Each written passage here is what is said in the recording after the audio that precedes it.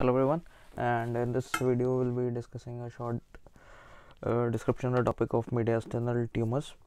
So first of all mediastinal first of all we have to see the anatomy of the mediastinum so basic uh, which area is called as mediastinum is located actually between the uh, two lungs right and the left surrounded by two lungs. And it is situated in the midline of the thoracic cavity. That is your sternum. And it is divided into upper and the lower uh, lower mediastinum in which later they are divided into superior and the inferior compartments and further inferior is divided into anterior middle and posterior mediastinum so uh, this is a basic anatomy in this diagram. You can see relate this in this diagram. Okay so this part is your this is a cross section in a lateral view you are seeing. So this is your uh, vertebra. This is your sternum as i told you so from here you can see and beside them will be the both side from uh, both from both the side uh, the lung will be covering this area right and the left. And upper section you can see this is a superior compartment and which consists of your superior only superior mediastinum. And below this at the level of your T4 vertebra actually this is T4 vertebra this black line. This is an anatomical uh, point. And below that we have the inferior compartment you can see. And this out of which we have three further divisions. This one is your from the anterior side so anterior mediastinum and this blue one is your middle. And from the posterior side uh, on the base of vertebra is the posterior mediastinum so in these areas we have different types of tumors. So on anterior you can see germ cell tumors lymphomas thymoma. So all these tumors occur in the anterior mediastinum middle you can see aneurysm and cyst bronchogenic cyst lymphadenopathy you can see. In the posterior you can see lymphomas neurogenic mass aneurysm and esophageal disease and somewhat lymphoma also. So this is the basic overview you can see about the mediastinum. Now we have different forms of tumor. We have first of all tumors of thymus gland in this region and we have neurogenic formations and uh, germinogenic oncopathologies that is the germ cells. We have lymphoid tumors of lymphoid origin and we have mesenchymal origin of soft tissues or can say skin or superficial tissues. So these are the uh, different types and mediastinal anatomy we have discussed and lower is further divided into anterior middle as i told you. Now how often uh, and who has mediastinal tumor? So frequency of this mediastinal tumor is around 1% out of all the oncopathology or you can say all the tumors or cancers. So this tumor actually occurs 1% and most uh, it is most common in the people uh, of young people it is most common and the middle age people you can say about the age of 20 to 40 years. And same frequency is present in men and women. There is no differentiation. Now what are the signs you will see? Basic common signs you will see with the patient coming with mediastinal tumors. The first sign we will be having the cough shortness of breath dyspnea pain in the chest will be there dysphagia. The patient will not able to swallow properly. That condition is called as dysphagia. And there can be compression syndrome of svc that is your superior vena cava so because of the presence of tumor your superior vena cava may be compressed and due to that there will be lack of blood supply in the region of your upper extremities that is in the brain or face. So you can see different types of swelling in that region. So that syndrome is actually called as syndrome of superior vena cava due to compression. Now uh, let's discuss detail in this compression syndrome. Now as superior vena cava is uh, responsible for the return of blood from the head neck and upper limbs and the trunk back to the heart. So if there is any compression to this uh, bigger vessel this vein so you, you can see the signs of swelling of your face face as i told you neck and upper extremities and common symptoms that is dyspnea cough and expansion of the collateral thoracic vein you will see in this area. So you can see this patient coming with your syndrome. This syndrome you can see. So this you can see this is, this is actually your superior vena cava uh, okay vena cava is entering here. And this is a tumor beside this vein. And this tumor can compress this vein. And because of that the patient can have different edema of the face neck and upper chest. And distension in the axillary subclavian and different veins which are uh, uh, carrying the blood towards the vena cava. So this is the patient uh, will be coming with that with this appearance. Okay edema of the face and neck. So this is the compression syndrome of superior vena cava. Now let's move on to the another type of uh, tumor. Now we have the tumors of thymus gland or thymoma or the thymus carcinoma.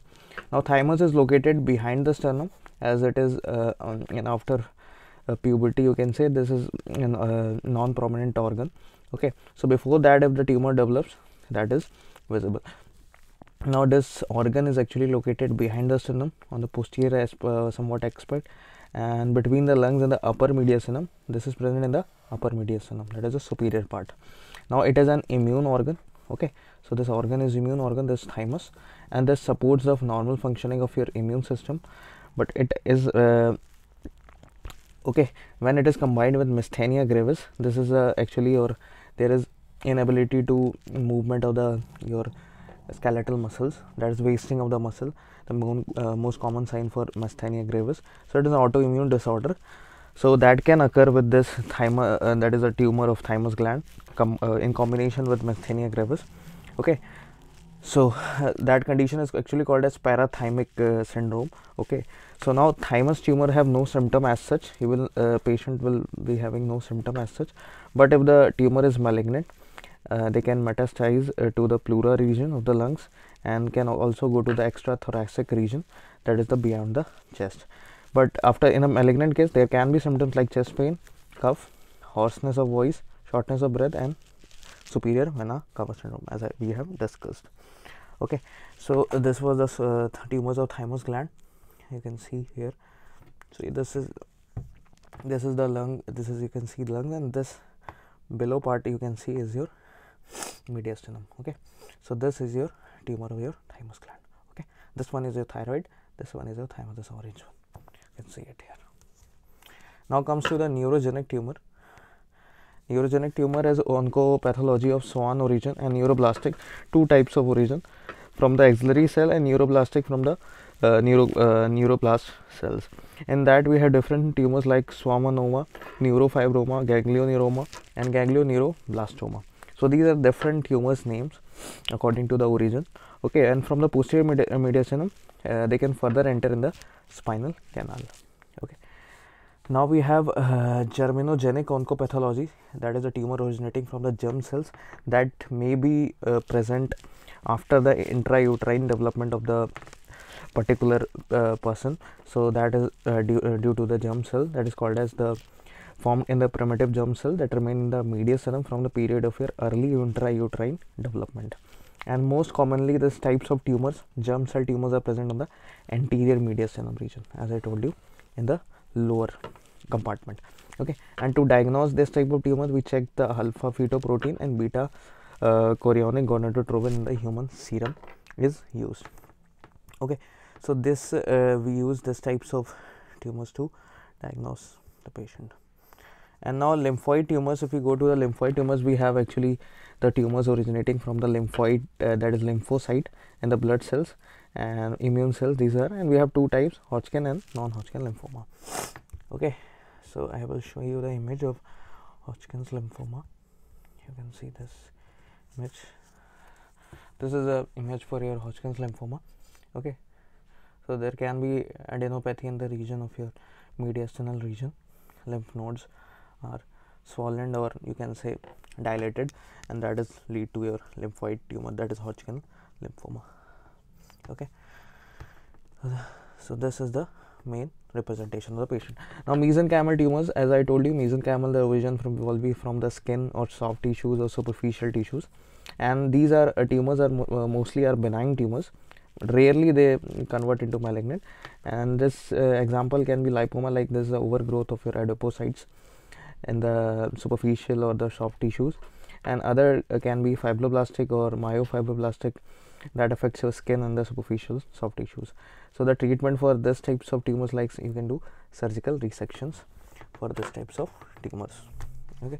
So in this uh, mediastinal region you can see this is actually your lipoma this uh, swollen or the dilated part of your uh, mediastinal region. You can see this vessels areas and there is somewhat lipoma okay?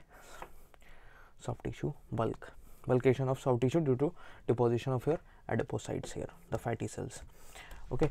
And some differences you can see according to the regions of your mediastinum. Like anterior we have teratoma benign.